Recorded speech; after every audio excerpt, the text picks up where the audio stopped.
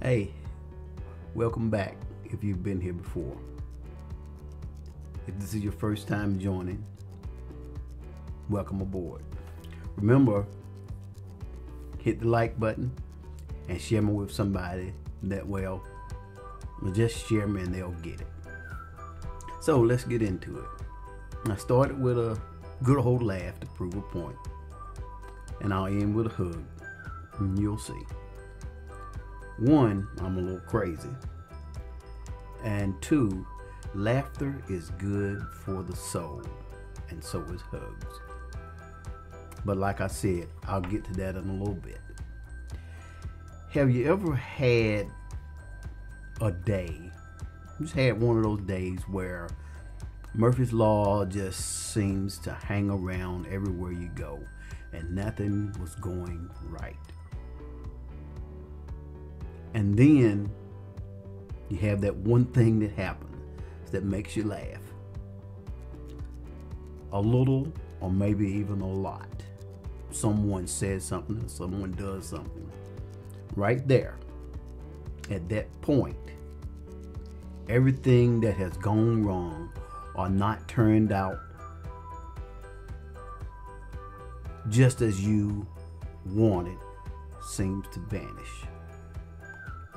It is simply amazing that something as simple as a laugh can make you feel so good. You can forget about your pain, your worries, and whatever burdens you bear for the moment. I'm not saying it's a cure all and it'll cure all your ills or solve all your problems. But if you take a moment, just a little bit of time, to laugh just a little, you might see the possibilities of a greater, happier thing to come for just one moment. And sometimes a moment is all you need.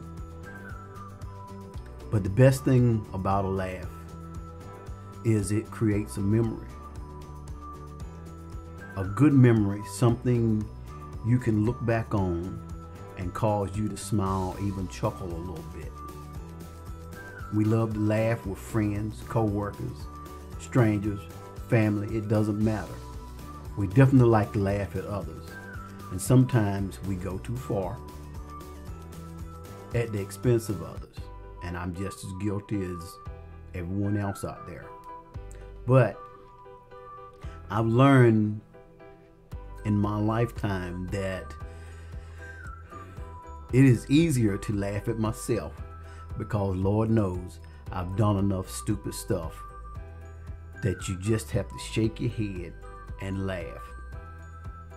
It should always be easier for you to laugh at yourself than others but it's much more fulfilling to laugh with others because then you share a common bond. I laugh a lot at work, I laugh a lot at home. Sometimes it's easier, sometimes it's not easy. But I also realized that sometimes the person or people that are laughing at me or with me may be covering their own pain and sadness and need. But a good moment of laughter is always good. Just remember, in order to truly laugh, truly laugh, you have to be able to laugh at yourself first we try all the time to figure out ways to feel better in our complicated lives, in our complicated daily lives. And now, most of the time, laughter seems like a very good pill to help us through that. This pandemic has been especially hard on a lot of us. It's been difficult. We never realized how much we needed to be around each other, to have that human touch, that contact, the need to be with one another. We have figured out ways to laugh at and with one another from a distance. But that human contact, that touch, that feel, that hug that we sometimes share is the link that brings us all together, that makes us feel better, that makes our bond complete. And I think a lot of us have missed that. And we'll get back to that. Because out of this, we will be stronger together. And that hug that you share with a friend, a neighbor, a loved one, someone you haven't seen in a long time, will mean even more. And it will be much more enjoyable. I know some of you guys out there are saying, don't come over here with that with that hugging mess. Uh, I don't need it. Let me tell you tough guys something. From the age of 11, when I broke my first bone, and it was a good one too, I've had almost 30 surgeries.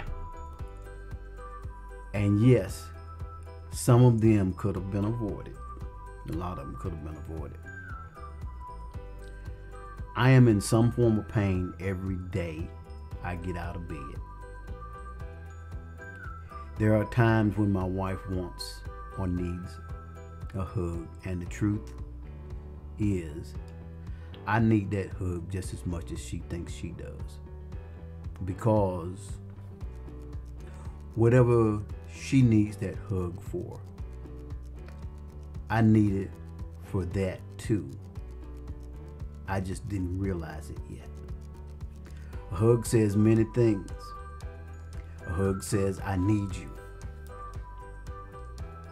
Don't want to take the next step without you. I trust you. I miss you. I'm going to miss you. I'm all right now. But most of all, it says, I got you.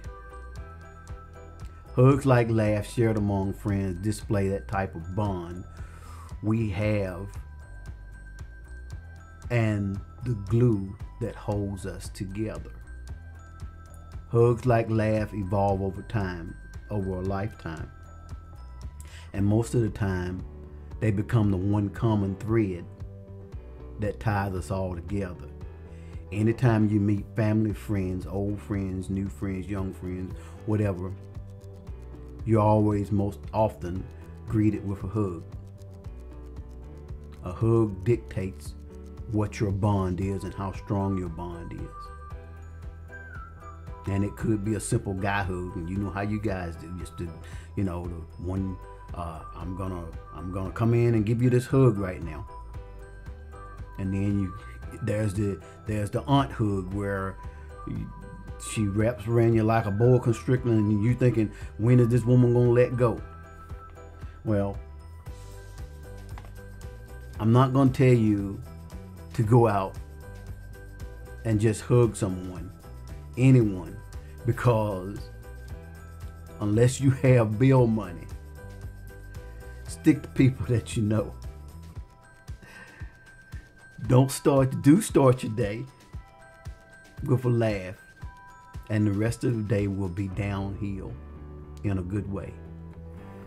Give hugs when needed, and especially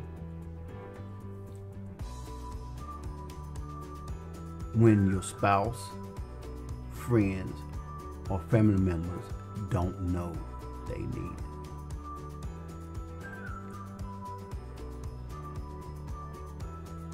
and the loss you have suffered. All the loss you have suffered. a hug got you through. The failures, the shortcomings, all that you've experienced, your ups and downs in your life. And you can still laugh at your mistakes and yourself. I can guarantee you, you will be okay. So tell me this who stands to benefit from your laughter? Who stands to gain from a heartfelt hug?